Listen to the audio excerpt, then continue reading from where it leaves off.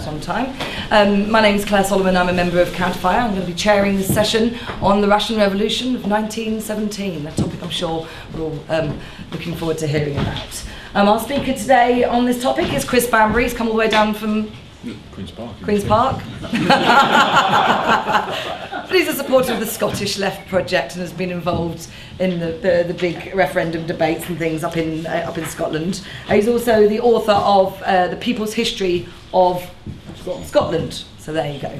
Um, he's going to speak for 20 25 minutes and then we'll open up to questions and then some contributions. So without further ado, I'd like to thank you. Chris. I think it's true to say that the Russian Revolution of 1917 has not just had a bad press in recent times, it's also been the subject of an ideological assault following the collapse of the Soviet Union 25 years ago, which I think we underestimated for those around at the time how this was going to play out. Because I think the ideological assault has actually been very serious and has not just escaped those of us who argued at the time that the system which was collapsing in Russia had nothing to do with socialism and there was no vestige of workers' control or anything else there and had not been since 1928-29 and the establishment of Stalin's dictatorship.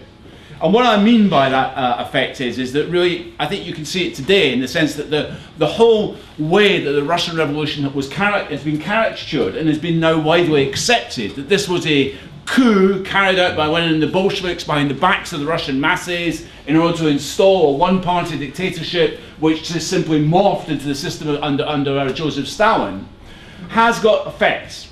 It means among the current uh, generation of anti-capitalists, really over the last uh, uh, certainly a, decade, there has not been a general acceptance of the need for revolution.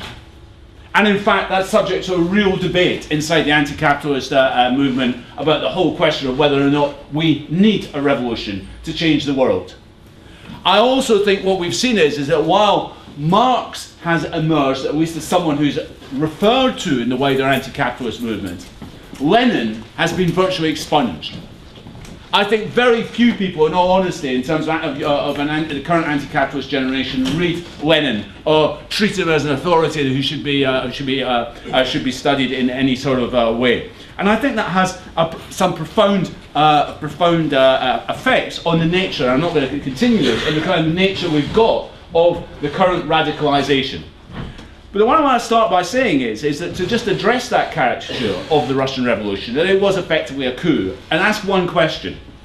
Why would the working class, the, uh, the one working class globally, which had most experience of mass struggle and revolution, which had after all taken place in one failed revolution of 1905-1906, had carried through a revolution in February 1916 with the overthrow of, uh, of 1917 of the Tsar, had a, a rich experience of mass strikes and struggles, was a literate working class, and I want to just stress that point because the idea that Russian workers were not literate isn't true, right? Were really grounded in a rich revolutionary tradition within inside Russia itself.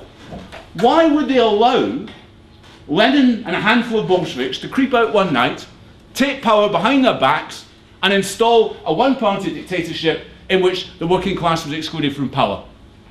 Why would that have happened? And the simple answer is it didn't. Because the Russian working class was at the center of those, uh, of, uh, of, uh, of, those uh, uh, events in, uh, in term, terms of that.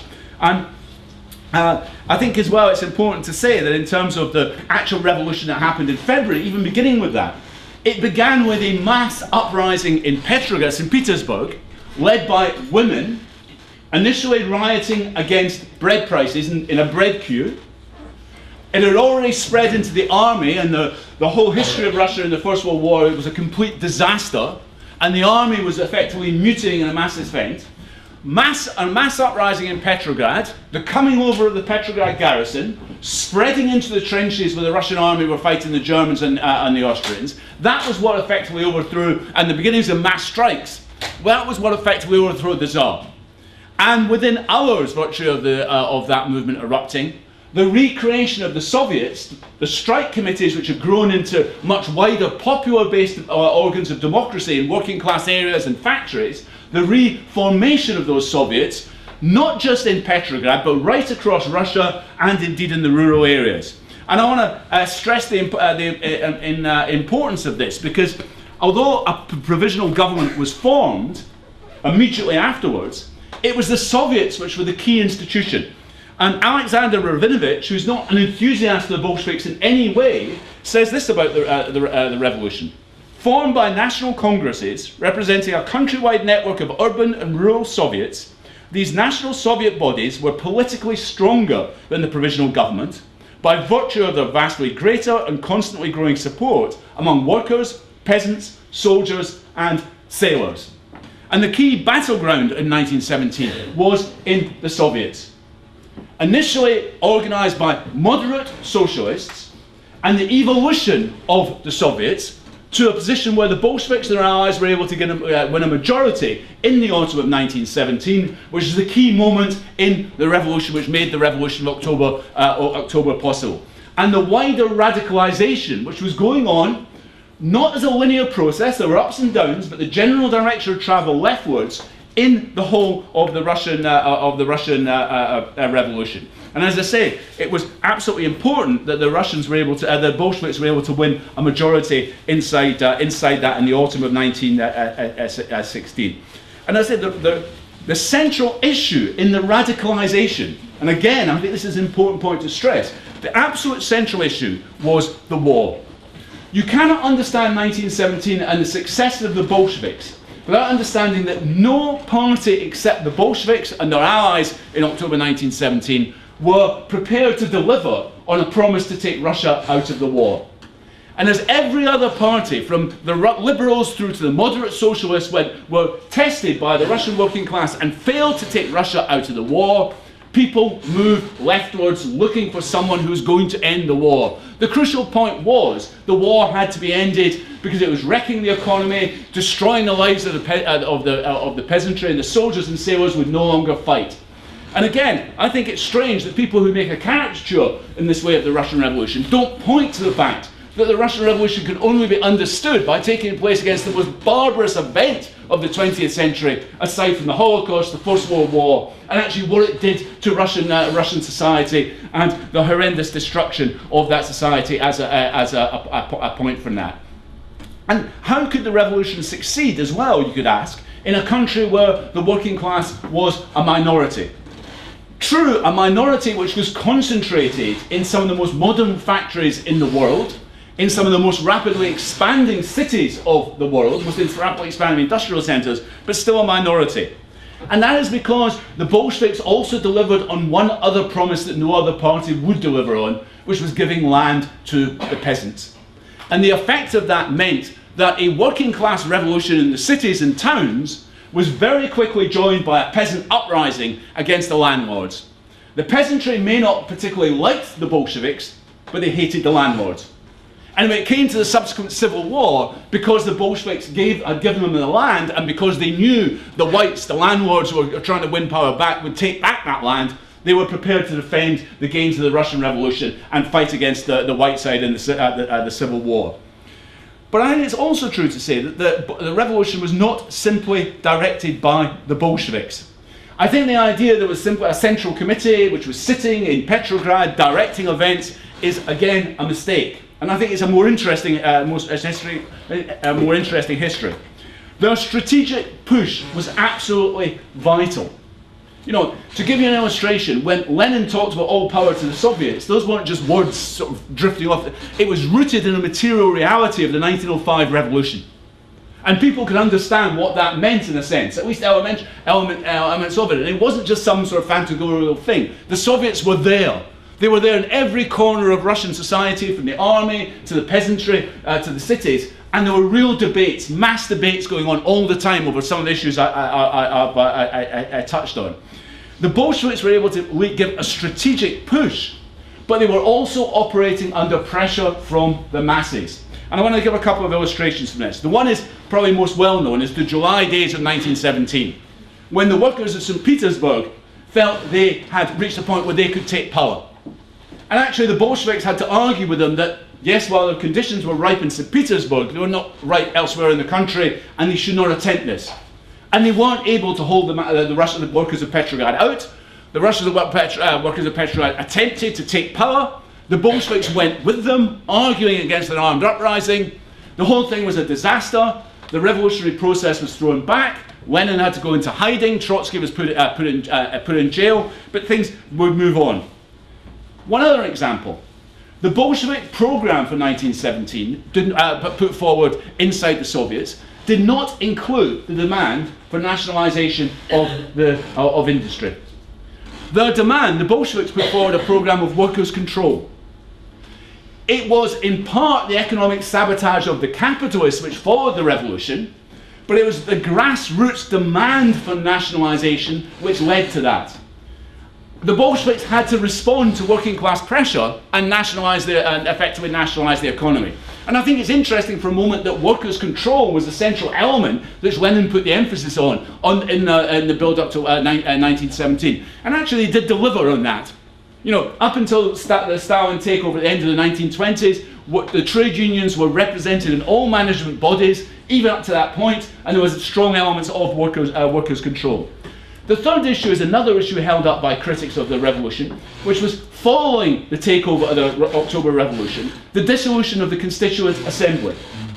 This is something which the Bolsheviks and everyone else had argued for, simply a coming together of a body to create a constitution for uh, uh, uh, uh Russia. The Bolsheviks had championed this demand, but following it, decided to suppress the Constituent Assembly, to dissolve it when it did meet in Petrograd, and a, a very justified reason. That the elections had taken place well before the crisis of the autumn of 1917, that the peasantry, the majority of the population, had voted for their traditional party, the Social Revolutionaries. That party had subsequently split, with an anti war section joining with the Bolsheviks, and they were no representation of that. So the Bolsheviks argued that these results, particularly the results among the peasantry, do not reflect the popular mood. And but actually, and I think again it's interesting people at Lynch make the point that if the Bolsheviks had not dissolved the Constituent Assembly, which was meeting in Petrograd, the working class of Petrograd were rising up in insurrection against it and would have done the job themselves. You know, and again, it's a coming together of those two processes. You know, a strategic direction of the Bolsheviks, but also the spontaneous uprising of the movement, which you see in those effects. So again, again, and there's other examples I could I, I point to.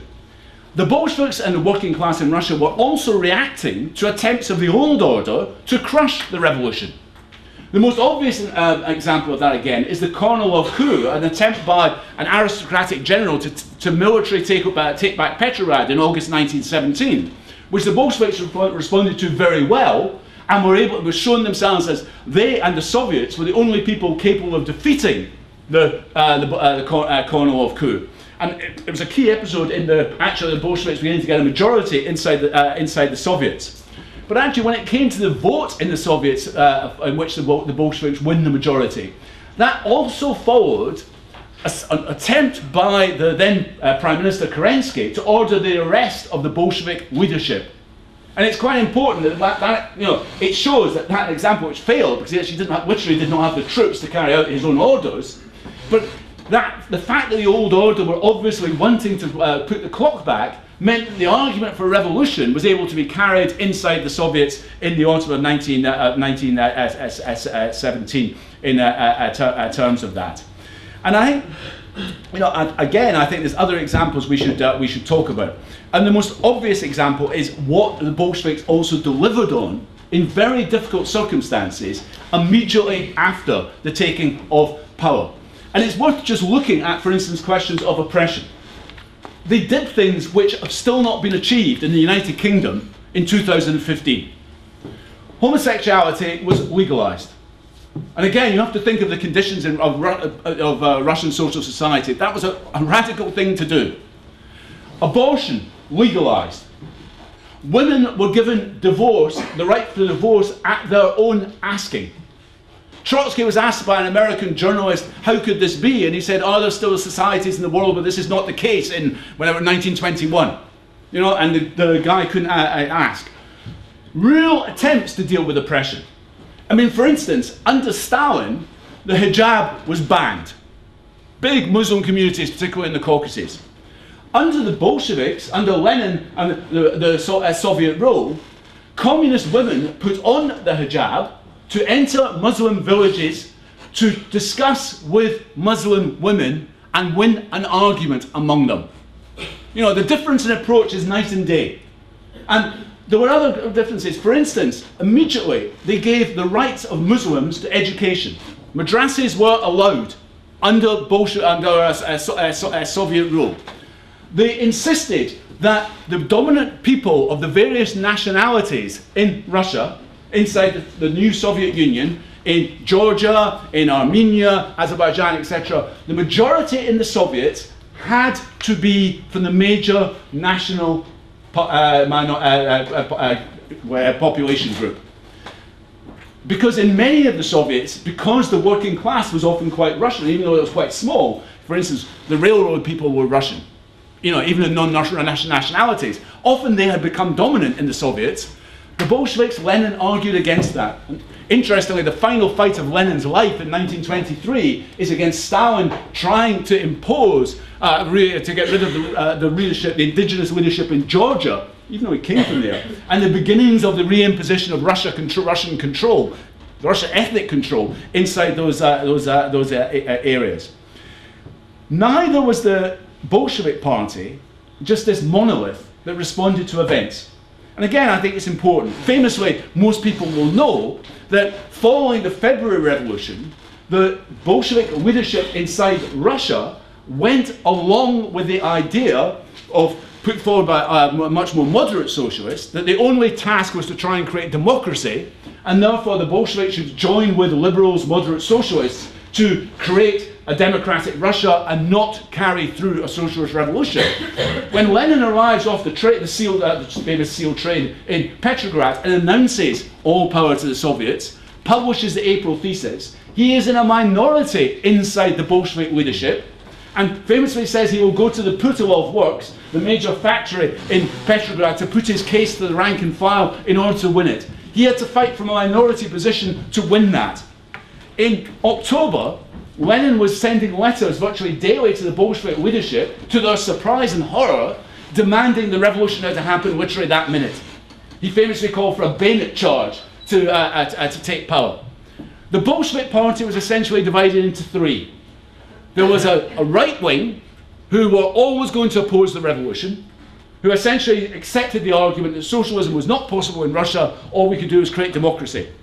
And indeed, the two most famous representatives Zinoviev and Kamenev went public about the insurrection. I mean, the, the worst thing you could do, you know, leaking to the, uh, to the media that the, the, the insurrection was uh, planned. They weren't shot. They weren't thrown in a concentration camp. They were reinstated into the leadership after a certain amount of time happened. There was a centre which essentially were argued for Soviet rule but wanted it in a majority, including a majority of the left. And then there was a left led by Lenin, backed by Trotsky, arguing for revolution who are in a minority. There was an argument right through the autumn of uh, that month of October in which Lenin, again using rank and file pressure, coming and representing actually the, the mood of the Petrograd working class, had to win over the Bolshevik party to the idea of revolution. He couldn't just go like this and say, This is what I want to do. There was a constant argument in, uh, in, uh, in uh, and the point of this, this was a great revolution involving hundreds of thousands, millions of people in a constant debate and discussion, including some of the most oppressed people in Russian society. You know, I mean, I'll just mention the women workers were all the way through absolutely essential to this and uh, uh, played a, a, a, key, a key role of this. What was the, the um, program of the Bolsheviks in the autumn of 1917? Summed up in the famous slogan, bread, peace, land, all power to the Soviets. And bread, peace, land may not sound so radical, but the idea that people had to be fed, which meant the end of the war, because the war was stopping people from, uh, from getting food in the urban centres. Peace, which the end of the war, which is what everyone wanted. Land, what the peasantry wanted. And you get this by all power to the Soviets, a brilliant slogan. But if you read Lenin's little book, State and Revolution, written in the autumn of 1917, it's a very interesting document. It was denounced by his opponents on the left at the time as being an anarchist book because actually the role of the state inside it was minimalist. You know, it includes a demand which the Bolsheviks tried to carry through the abolition of the standing army and the, its replacement by a workers' militia. Right? A very you know, interesting book to read because it's not about one party dictatorship. It's much more about popular democracy and how you'd achieve it in uh, terms of, of course, the, and I'm not going to have time to talk about this. The conditions in which the Bolsheviks would try and experiment with this were very limited by the fact that almost immediately the country was under attack, firstly from Germany and then by an array of different allied, uh, allied armies. And I once did a meeting in Australia where I foolishly said the Australians must have been the only people who didn't send troops to try and overthrow the Bolshevik Revolution in 1917. And of course, someone immediately said, yes, they did. they were all there, including the Japanese, talking about the last session. You know, everyone went into Russia to try and uh, uh, uh, overthrow it. And I really do recommend reading State and Revolution because the idea, particularly the idea which has become so accepted, that when we talk about socialism, what we're talking about is just simply the nationalisation of everything it's not there. It's not central to the state and revolution whatsoever. It's based on popular democracy, rank and file, working class control, working class democracy, which was what was going on in Russia in, uh, in uh, uh, the, uh, the, uh, the, concerns of that. Finally, what lessons can we uh, learn from this? The first is the centrality of internationalism. The reason why Lenin was so determined to push through the revolution in the autumn of 1917 was his argument that Russia could not just be looked at alone, it was part of an international chain, and that revolution in Russia would be followed in quick order by revolution elsewhere in Europe in particular, but above all in Germany. And he was proved right about that. And it's an important thing to say there was a wave of revolution, and indeed a revolutionary crisis in Germany which lasted till 1923, again huge ups and downs. The problem was there was not an equivalent of the Bolshevik Party which could win the argument for revolution. Or certainly in the case of Germany in 1923, when probably a majority of the German working class were on the side of the revolution, which had the audacity and the ability to carry it through. And again, in circumstances I talk about. Second point, now, and I think that, that brings me through to Lenin. And it, if you read Lenin, it's a point the Hungarian Marxist George Lukács makes. All his writings are absolutely centered on the actuality of the revolution, the, centra- the need to carry through the revolution. That is what he starts from in virtually everything he writes about. And I think that is something to uh, point about. I mean, I'll give you one example Venezuela. Venezuela today, I am very worried about. And it shows to me that what Saint-Just said about the French Revolution, if you half, half make a revolution, you're digging your own grave. And I think the truth is in Venezuela, it's a half-made revolution. And it can't just go on like that. And it would seem to me the conditions in which the Chavista revolution, unfortunately overthrown, are beginning to mature there. And I think it's a lesson that we have to draw. You can't half make a revolution. The old order just won't accept that. They will come back with everything they have. Thirdly, insurrection. Seems a strange thing to talk about, doesn't it? Insurrection was at the heart of the Russian Revolution at different points, at different points in time. And it has been in any great revolution, as Elaine mentioned about the French Revolution in 1917. It is the key thing which in many ways drives it forward. And it's not the caricature of, you know, the carry-on films uh, about the French Revolution or Russia, whatever. It's about popular movements in, in the oppressed, including the most oppressed, come out onto the streets and begin to feel their own power. Same with mass strikes, which are essential. I, I, I, point, I point about that in the rest of it. All revolutions begin spontaneously. I think this is an important point. The Bolshevik leadership in Petrograd was literally meeting, looking out the window, when they saw the bread riots taking place in February 1917. They weren't reading that, they didn't know what was going to happen. But no revolution ends spontaneously. And there's, a, I think, a simple reason for that, which is if you think about it, you could borrow Antonio Gramsci, here, the Italian Marxist, but the dominance of the old established ideas, reinforced by the equivalence of the Labour Party, the trade union leaders, etc., etc., the dominance of those ideas, the position of the working class, unlike the bourgeoisie in uh, France in 1789, we do not own wealth. We do not own factories. We do not own banks. We don't have our own scientists and philosophers and all the rest of it in any huge scale. That that leap into the unknown, the idea that we have to overthrow everything and recreate a new society, it is such a jump that in order to win that argument among millions of ordinary people, it requires groups of people. Gramsci argues that in any revolution there are parties. What he meant by that doesn't necessarily mean a party in the sense of the Bolsheviks, but people gather around particular strategies. There are people who will argue for revolution, but there are also people who argue to the death against it. You know, and therefore you have to be organised. In the Soviets, or the equivalent of the popular democracy, you have to be organised in order to win that. You have to learn which arguments cut, which arguments don't cut. You know, how actually we're going to uh, do that. Which groups we haven't won over. How are we going to win those groups over? Well, how do we deal with Muslim, uh, Muslim communities? How are we going to go in and win those communities over, uh, etc.? And I think that is the, the lesson I'll, I'll end with. And I think it's an important thing just to say as well that what I've tried to do here as well is give an idea that the party, when I talk about it, isn't just again this sort of simple monolith which is often put forward with some supreme central committee and you know autonomans underneath jumping to uh, jumping to command every argument. The Bolshevik Party was not like that. There were debates going on at every level, as there were in the Soviets. And as I said, it was also yes, it was giving a strategic push to the revolutionary direction, but it was also acting under pressure all the time of uh, of the masses and you cannot take that pressure away. And that is why current attempts to uh, the revolution in this as, as a sort of coup d'etat uh, fail. So, in, just in simple conclusion, I think we have a job to do at the moment in rescuing the Russian Revolution, rescuing actually what happened. And I have to say, in rescuing Lenin and trying to bring all of this back to a new generation who I think have largely ignored or even rejected much of this, and trying to win them patiently and uh, you know all the rest of it, of course. But I think it's important because I think unless you don't have that history of the Russian Revolution as part of our canon, you don't understand Lenin. Actually, we are, we are not going to be able to make a revolution.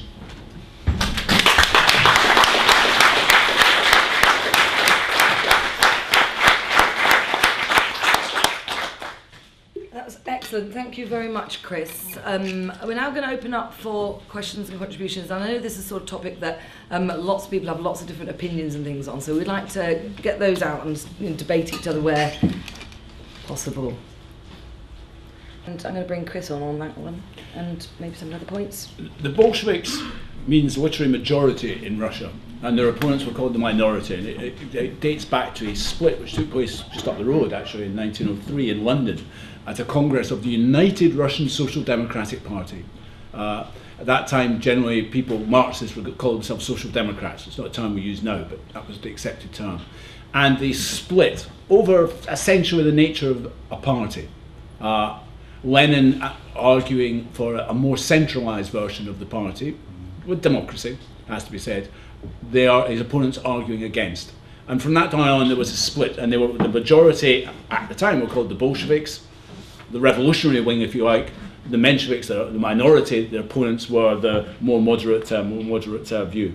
I mean, on the mistakes of the, the Bolsheviks, yet the banning of uh, parties, it has to be said, followed uh, an attempted insurrection inside uh, Ru uh, Russia and Petrograd, in which Lenin was actually attempted his assassination by the former allies, the left SRs.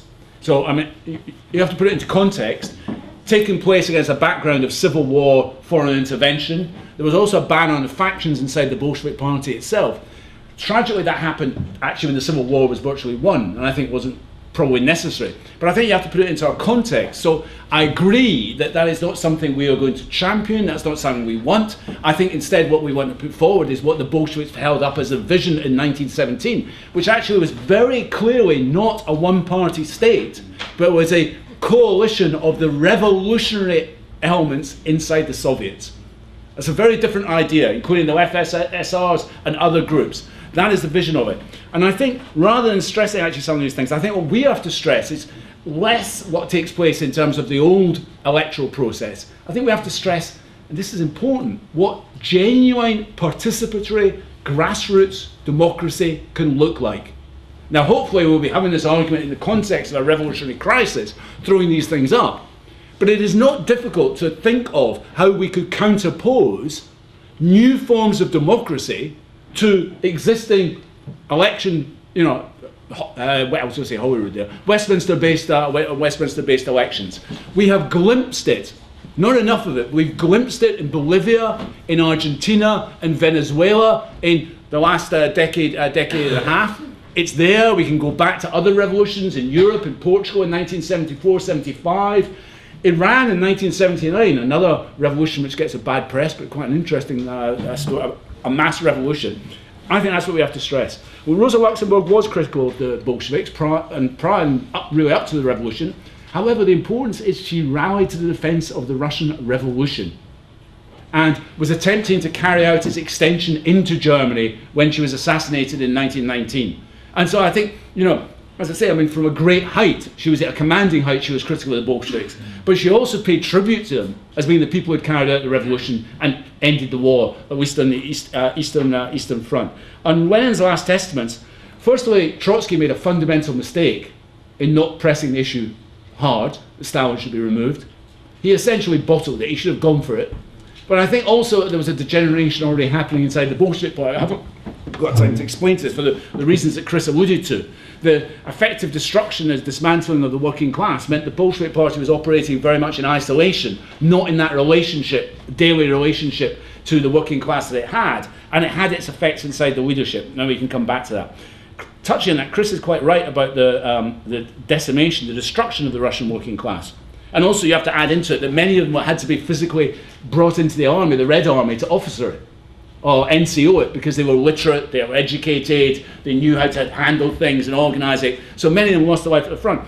But I think we also have to add into this that the effects of the defeat of the International Revolution, and this went on much later than you think about. In 1923, mass enthusiasm at the prospect of a revolution in Germany. Russian workers handing money over right? People knew there were Russian military experts in Berlin, right, advising the German communists on how to carry things out. There was a genuine mass debate about it. And the failure to carry the revolutionary through causes demoralization. 1926, the British general strike. Millions of rubles raised in support of the general strike. A belief that while it wasn't going to be a revolution immediately in Britain, this could reignite a revolutionary crisis in Britain and its empire and really move things on. Again, we know the outcome, right? Ended with the TUC surrendering. 1927, I mean, this is right up to the beginning of Stalin's dictatorship. Popular enthusiasm, there's a revolution in China. Right? A nationalist revolution against imperialism in an attempt to create unity of the country. And again, mass meetings, really discussion of it. The revolution is defeated. I haven't got time to, uh, uh, to go through why. And the effect of demoralization. And this is important because when the Chinese revolution was defeated, Trotsky, who'd argued against the policy of the, the communist leadership in China and in Moscow, right? Someone came up to him and said, "You've been proved right. Look, they've been defeated because they didn't follow the correct strategy." And he turned around. This doesn't mean anything because the demoralization will undercut my support. Right? For people, Trotsky at this time was arguing that the international revolution was the only way Russia could be saved, and that affected the demoralization very, uh, very important. And I answered it with the Bolsheviks. So. Thank you, Chris. Thanks for ask, uh, answering that question. And just like to assure people that anti-dictatorship, which has simply morphed into the system under under uh, Joseph Stalin, has got effects. It means among the current uh, generation of anti-capitalists, really over the last uh, uh certainly a, uh, decade, there has not been a general acceptance of the need for revolution. And in fact, that's subject to a real debate inside the anti capitalist uh, uh, movement about the whole question of whether or not we need a revolution to change the world. I also think what we've seen is, is that while Marx has emerged, at least as someone who's referred to in the wider anti capitalist movement, Lenin has been virtually expunged. I think very few people, in all honesty, in terms of, of, of an, the current anti-capitalist generation, read Lenin or treat him as an authority who should be, uh, should be, uh, uh, should be studied in any sort of uh, way. And I think that has a, some profound, uh, profound uh, effects on the nature, I'm not going to continue this, on the kind of nature we've got of the current radicalization. But what I want to start by saying is, is that to just address that caricature of the Russian Revolution, that it was effectively a coup, and ask one question. Why would the working class, the, uh, the one working class globally, which had most experience of mass struggle and revolution, which had after all taken place in one failed revolution of 1905-1906, had carried through a revolution in February 1916 with the overthrow of, uh, of 1917 of the Tsar, a, rich experience of mass strikes and struggles, was a literate working class, and I want to just stress that point because the idea that Russian workers were not literate isn't true, right? Were really grounded in a rich revolutionary tradition within inside Russia itself. Why would they allow Lenin and a handful of Bolsheviks to creep out one night, take power behind their backs, and install a one party dictatorship in which the working class was excluded from power? Why would that have happened? And the simple answer is it didn't. Because the Russian working class was at the center of those, uh, of, uh, of, uh, of, those uh, uh, events in, uh, in term, terms of that. And I think as well it's important to say that in terms of the actual revolution that happened in February, even beginning with that, it began with a mass uprising in Petrograd, St. Petersburg, led by women, initially rioting against bread prices in, in a bread queue. It had already spread into the army, and the, the whole history of Russia in the First World War it was a complete disaster, and the army was effectively mutinying in a mass event. Mass, a mass uprising in Petrograd, the coming over of the Petrograd garrison, spreading into the trenches where the Russian army were fighting the Germans and, uh, and the Austrians. That was what effectively overthrew, and the beginnings of mass strikes. That was what effectively overthrew the Tsar. And within hours, virtually, of, the, uh, of that movement erupting, the recreation of the Soviets, the strike committees, which have grown into much wider popular based uh, organs of democracy in working class areas and factories, the reformation of those Soviets, not just in Petrograd, but right across Russia and indeed in the rural areas. And I want to uh, stress the, uh, the uh, in, uh, importance of this because although a provisional government was formed immediately afterwards, it was the Soviets which were the key institution. And Alexander Rabinowitch, who's not an enthusiast of the Bolsheviks in any way, says this about the, uh, the, uh, the revolution. Formed by national congresses representing a countrywide network of urban and rural Soviets, these national Soviet bodies were politically stronger than the provisional government by virtue of their vastly greater and constantly growing support among workers, peasants, soldiers, and sailors. And the key battleground in 1917 was in the Soviets initially organized by moderate socialists, and the evolution of the Soviets to a position where the Bolsheviks and their allies were able to a, uh, win a majority in the autumn of 1917, which is the key moment in the revolution which made the revolution of October, uh, October possible. And the wider radicalization which was going on, not as a linear process, there were ups and downs, but the general direction of travel leftwards in the whole of the Russian, uh, uh of the Russian uh, uh, uh, Revolution. And as I say, it was absolutely important that the Russians were able to, the Bolsheviks were able to win a majority inside, inside that in the autumn of 1916. And as I said, the, the, the central issue in the radicalization, and again, I think this is an important point to stress, the absolute central issue was the war. You cannot understand 1917 and the success of the Bolsheviks without understanding that no party except the Bolsheviks and their allies in October 1917 were prepared to deliver on a promise to take Russia out of the war. And as every other party, from the liberals through to the moderate socialists, went, were tested by the Russian working class and failed to take Russia out of the war, people move leftwards looking for someone who's going to end the war. The crucial point was the war had to be ended because it was wrecking the economy, destroying the lives of the, uh, of the, uh, of the peasantry, and the soldiers and sailors would no longer fight. And again, I think it's strange that people who make a caricature in this way of the Russian Revolution don't point to the fact that the Russian Revolution can only be understood by taking place against the most barbarous event of the 20th century, aside from the Holocaust, the First World War, and actually what it did to Russian, uh, Russian society and the horrendous destruction of that society as a, uh, as a, a, a point from that. And how could the revolution succeed as well, you could ask, in a country where the working class was a minority? True, a minority which was concentrated in some of the most modern factories in the world, in some of the most rapidly expanding cities of the world, most rapidly expanding industrial centres, but still a minority. And that is because the Bolsheviks also delivered on one other promise that no other party would deliver on, which was giving land to the peasants. And the effect of that meant that a working class revolution in the cities and towns was very quickly joined by a peasant uprising against the landlords. The peasantry may not particularly like the Bolsheviks, but they hated the landlords. And when it came to the subsequent civil war, because the Bolsheviks gave, had given them the land, and because they knew the whites, the landlords who were trying to win power back, would take back that land, they were prepared to defend the gains of the Russian Revolution and fight against the, the white side in the, uh, the, uh, the Civil War. But I think it's also true to say that the, the revolution was not simply directed by the Bolsheviks. I think the idea that was simply a central committee which was sitting in Petrograd directing events is again a mistake. And I think it's a more interesting, uh, more, history, a more interesting history. Their strategic push was absolutely vital. You know, to give you an illustration, when Lenin talked about all power to the Soviets, those weren't just words sort of drifting off. It was rooted in a material reality of the 1905 revolution. And people could understand what that meant in a sense, at least element, element, elements of it. And it wasn't just some sort of phantasmagorical thing. The Soviets were there.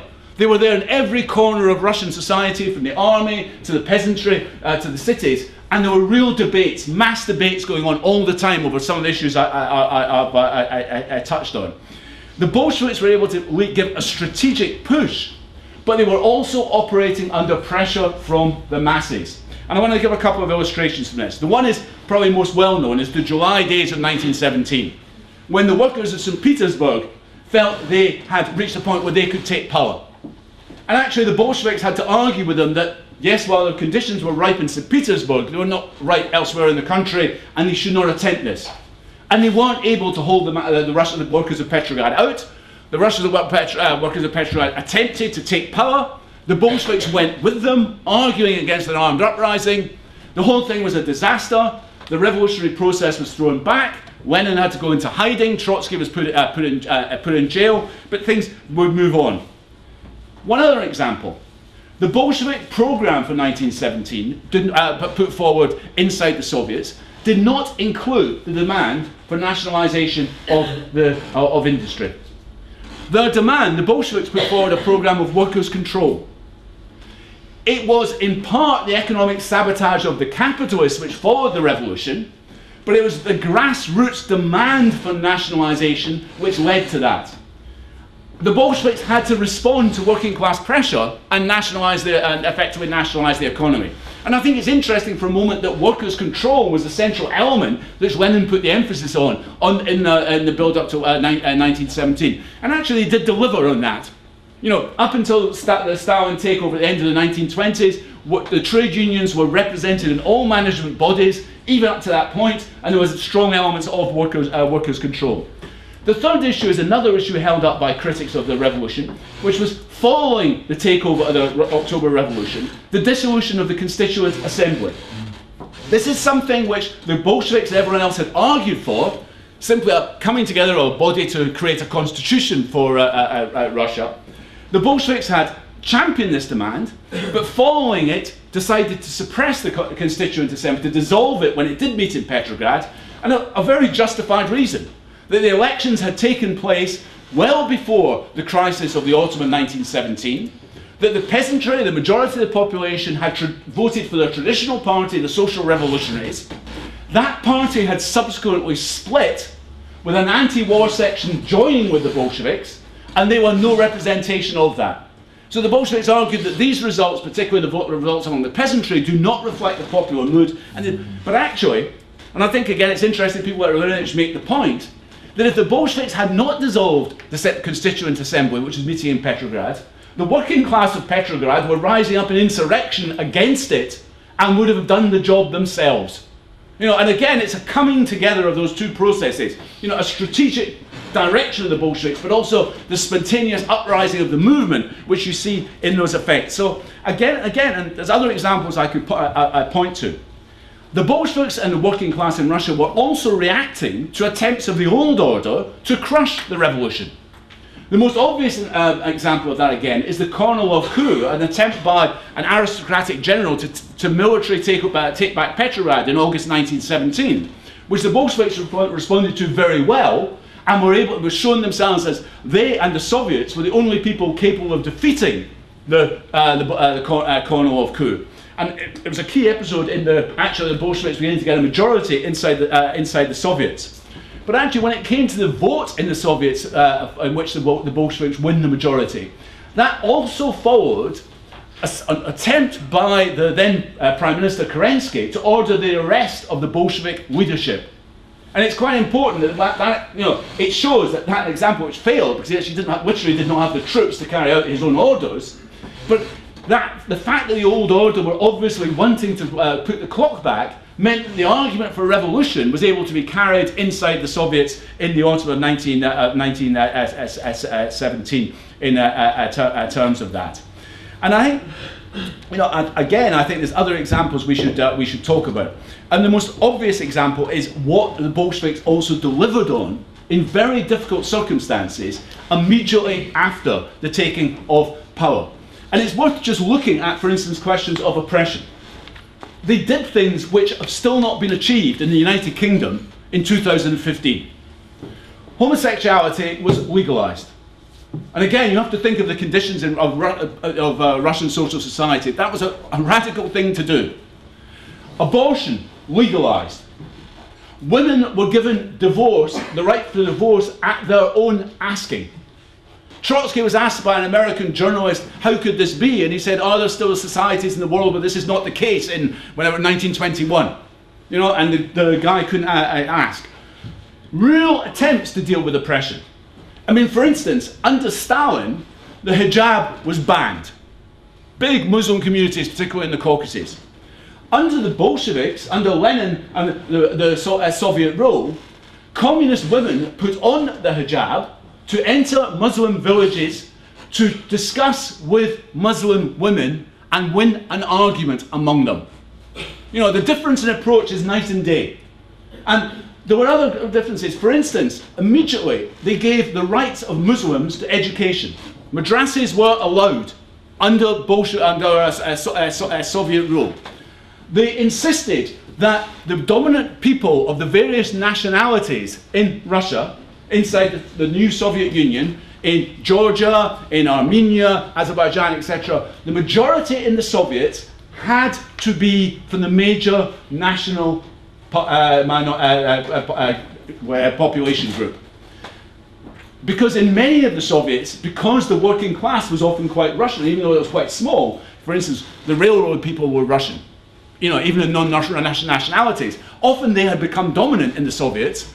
The Bolsheviks, Lenin argued against that. And interestingly, the final fight of Lenin's life in 1923 is against Stalin trying to impose, uh, to get rid of the, uh, the leadership, the indigenous leadership in Georgia, even though he came from there, and the beginnings of the reimposition of Russia Russian control, Russian ethnic control inside those, uh, those, uh, those uh, areas. Neither was the Bolshevik party just this monolith that responded to events.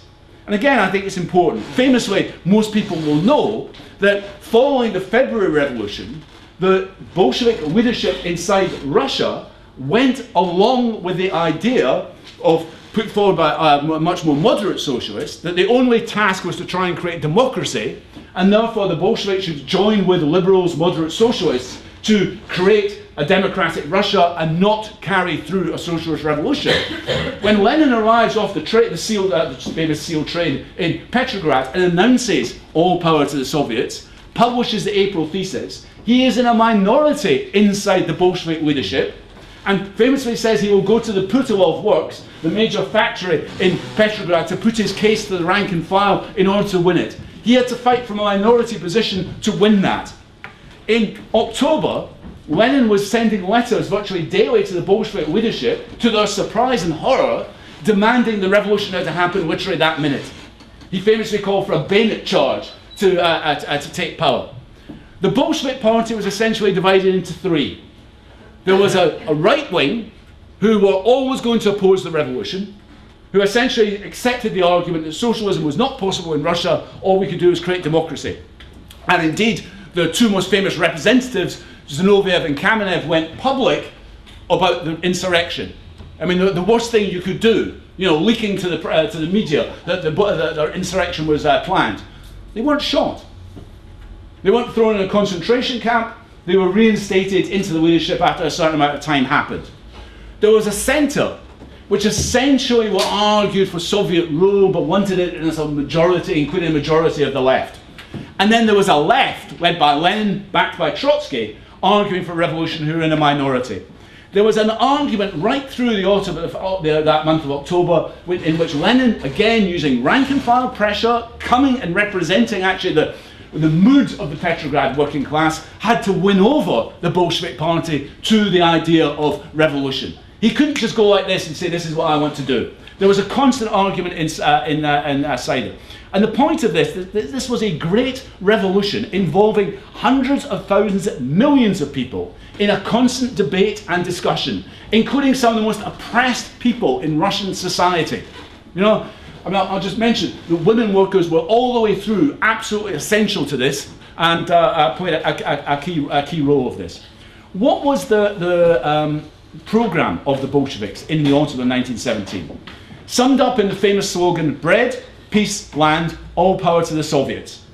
And bread, peace, land may not sound so radical, but the idea that people had to be fed, which meant the end of the war, because the war was stopping people from, uh, from getting food in the urban centres.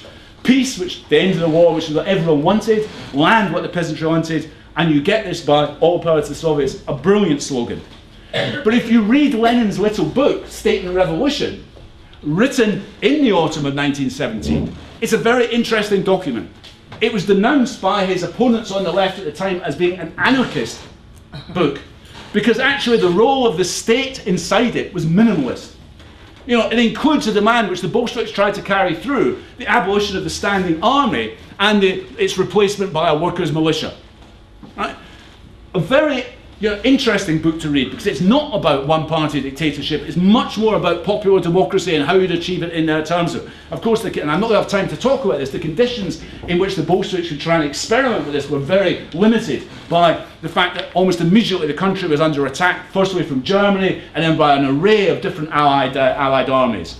And I once did a meeting in Australia where I foolishly said the Australians must been the only people who didn't send troops to try and overthrow the Bolshevik Revolution in 1917. And of course, someone immediately said, yes, they did. they were all there, including the Japanese, talking about the last session. You know, everyone went into Russia to try and uh, uh, uh, overthrow it.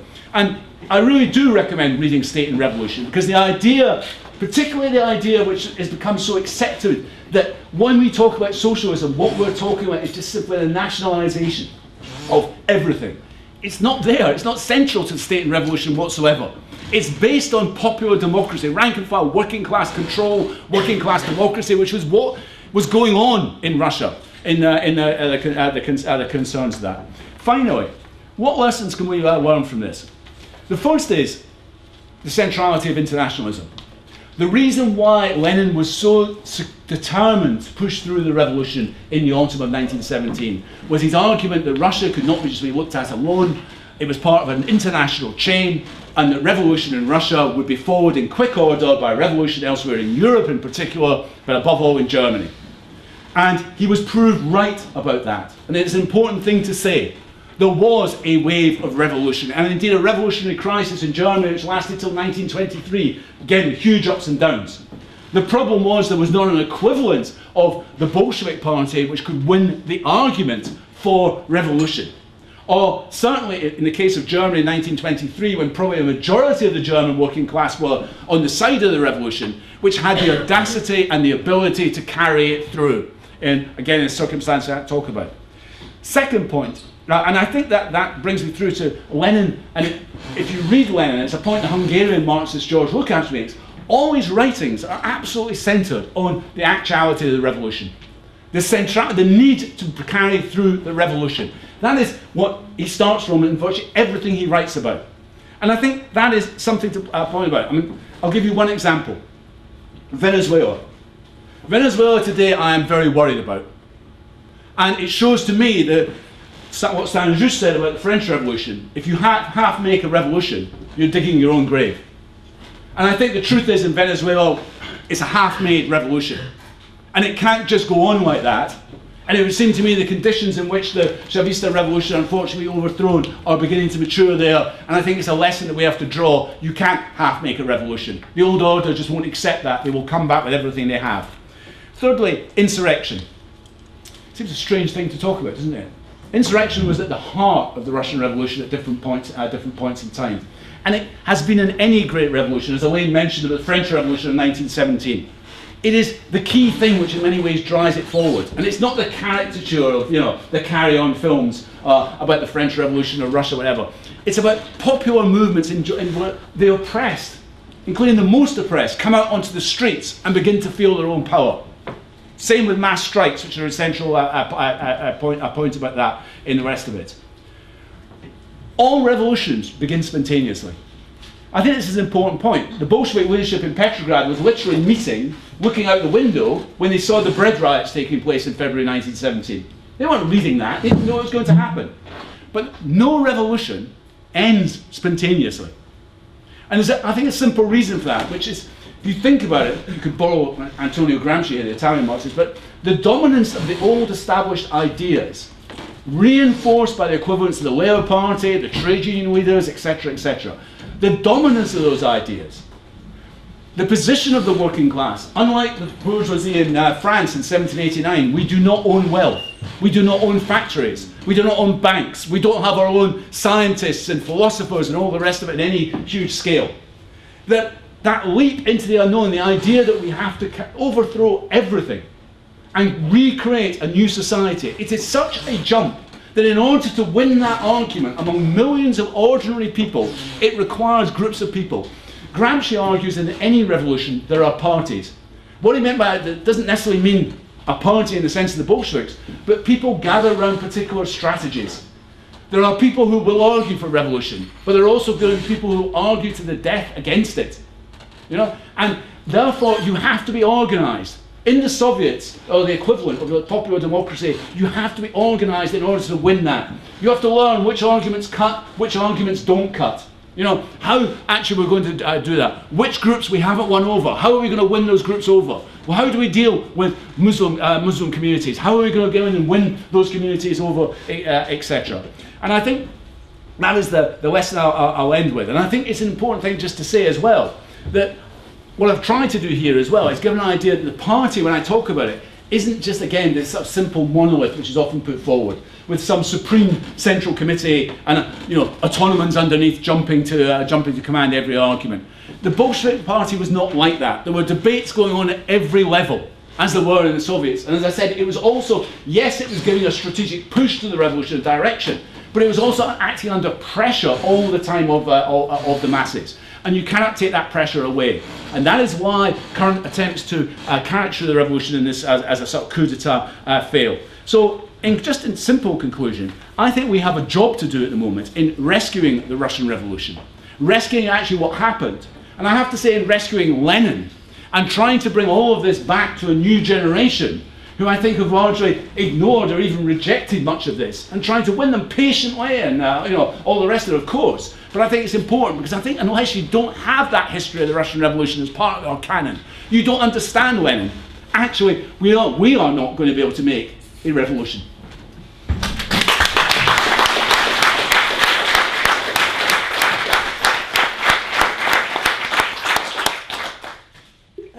Excellent. Thank you very much, Chris. Um, we're now going to open up for questions and contributions. And I know this is sort of topic that um, lots of people have lots of different opinions and things on, so we'd like to get those out and debate each other where possible. The question in John's meeting why the election got interesting, but it's obvious to me. Uh, you've been rescued by the Scots. it's true. Uh, and I think it's important to say that Nicola Sturgeon makes an impact, but she is reflecting, not leading, the mood in Scotland. And that's quite important because the referendum debate was not a revolution, but it was actually a taste of popular democracy. And I think that's quite important, and in particular the radical spectrum of it, radical independence, the rest of it, uh, uh, going out and going into working class areas which are not seen political discussion and debate for decades, which don't have any forms of working class organisation, and having meetings, discussions inside those communities, and shaping a message centred in opposition to austerity as the reason to vote for uh, yes in the referendum, and the carry on of that message has led to the situation where suddenly we do have all these leaders. And I think it's interesting as well, it says something, the number of people have, co- have commented on down here, that the freshness of having two working class women actually participating in a debate is again something quite interesting. But I think that lesson should be taken through. It wasn't a revolution, but actually the elements of popular democracy there were very important to it. And it's one of the fundamental reasons why the Labour Party in Scotland are going to, going to take a kicking in this uh, election. And all the polls are suggesting that our leader, Jim Murphy, is about to lose his seat, which would be a really crucial event inside, uh, inside that. On the question of why you should vote, my reasoning is quite simple. I vote because I've always voted, because the majority of people in my friends and family vote as well. Right? That reflects the mood in the working class. I think it would be a mistake if I just went to them and say, I am a revolutionary. I know, and you stupid oiks don't know, that we, uh, you know, we have to smash the state and this and stuff is all just bullshit, and I'm not going to vote because I'm such a pure revolutionary. When that represents, in truth, the percent, I mean, percentage of the British population, 2%, I don't know. You know, but that kind of moral uh, thing is not going to win anyone an argument. So one of the reasons I would vote is actually because I want to identify myself with those people who believe this is the way to get change. I think they're wrong. Who want to get rid of the Tories, I agree with them. Who might still look to Labour, I disagree with them. But I want to be part of that debate and I don't want to cut myself off from them. I want to be part of the working class as it, uh, as it is. Now I want to jump back to the Russian Revolution. See, the Red Terror and such like, I think it's important to say it wasn't the Reds who began the terror. In 1918, the Bolsheviks agreed to Finland, which would be part of the Russian Empire, being independent.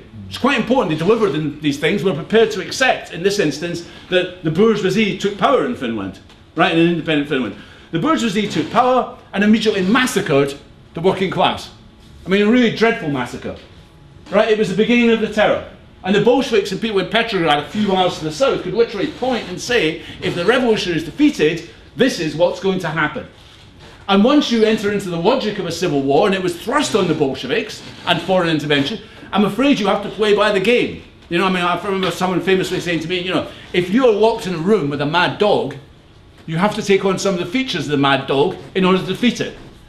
You know, you can't just have a debate with the mad dog. you, know, you, have to find a big stick or something in order to, uh, to deal with it. You know, and unfortunately, in a civil war, you know, they found themselves in a situation where they were locked in the same room as a mad dog, and you couldn't win it. They tried to do that a standing army. They couldn't win. I mean, the, the, workers' militias weren't up to the job. They had to reimpose a standing army in order to, uh, to victory. They had, to, they had got rid of the death sentence. They had to bring the death sentence back. These are not things they wanted to do, they were forced to them. And of course, mistakes were made. You know, there are always mistakes, but you have to put it in a context of the mach uh, machine. A couple of other things just to try before I, I, I uh, end on. The question of the state, I mean, I agree. This argument, you know, so John Holloway used to be my tutor actually, that we can go round the state, we can ignore the state. Echoed about a decade ago by Naomi Klein. Now, I remember the, the last big incident I came up against the state in even a more serious way than the student. And I agree with you, I think what's happening in Britain is quite interesting, the response to students, etc., the riots. But it was over 10 years ago in Genoa in Italy, where we went, some of us went to a G8 protest, which was really cracked down on, and one of the protesters was killed. And I remember, I think we've been discussing can you go around the state, all the rest of it. We literally arrived in Genoa, we're walking down the road, a group of us, right? Uh, this guy decided to take a picture of a group of carabinieri standing around in the street corner, ready for riot. I thought at the time, whoops, why are you doing this? And a carabinieri hit him with a truncheon.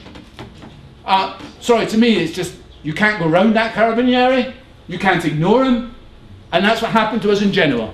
We were attacked and beaten and and all the rest of it. And you know, you look at the reality of it. Even in a, a, a democratic country with a stable and all the rest of it, the way the British police, very highly trained, by the way, the British police, they're one of the best police in the world, unfortunately, for dealing with uh, riots, with, uh, with uh, demonstrations and so on. They are used to go and lecture and teach the Americans how to, uh, how to do it. You can't go around it what's happening in America, Ferguson and, and New York, all of this is evidence. And I think we have to keep going on and on about it. You can't ignore the state, you can't reform the state, we have got to get rid of the state, and that is what they did in Russia in 19, uh, 1917. Uh, uh, I was asked about the left in Britain, I don't really want to comment on it, but I will say this. If you look at Lenin and Trotsky, and John's right about this, responsive to the mood of the working class, but they also studied the battleground in which they had to fight, which was the Russian state. They studied it, they analysed it, they looked at the working class and analysed that working class in its relation with other sections of society. You know, I look at so much of the left in Britain today, when they talk about the working class, they're talking about a working class which used to exist in the 1970s and doesn't exist today, and they don't seem to recognise it. They don't take into account that, you know, I work in the private sector. Trade union organisation is 14% in the private sector. You know, what are we going to do about this? The reality of work. Most of people here, my guess is, are not on permanent contracts. You know, that would be my guess in the room. What, how would you deal with that? And the left has to do, uh, uh, do, uh, do, uh, do all that. final thing, I think if you want to look at uh, the Russian Revolution, a good starting point is a little book written by an American journalist who was in Russia at the time called 10 Days That Shook the World. His name's John Reed. If you want to miss out the book, Hollywood actually made a film of it, starring Warren Beatty and uh, Diane Keaton, called Reds, which has got its bad moments, but actually I think it's quite a good thing to watch if you want to get an idea of what the Russian Revolution was like.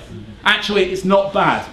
And one of those moments includes, I think this is something Trotsky points out, you know, in this revolutionary upheaval in the autumn of 1917, tens of thousands of people were cramming into a hall in Petrograd to hear Marxists discussing things like Greek drama. These are working class people. Now, why were people in the midst of a revolution cramming into a hall to hear some Marxist discuss Greek drama? And a worker explained it at the time. These are ideas I've always been told are beyond me. I want to understand everything. That's a revolution. When working class ordinary people decide, I am not going to be told there are things in this society I do not understand, I can understand anything and I can change that society.